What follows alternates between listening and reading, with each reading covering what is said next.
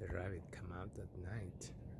Else, when the sun is down, they come and eat. And um, they're three now. I uh, I buy a special rabbit food they sell here, and also some organic carrots. They love it. Little pieces, so people don't freak out around here. They killing the animals. Now, they, usually there are more now. Since I moved here, there are more rabbits, there are more quails, there are more little birds. I saw three springs in almost 11 months of the quails.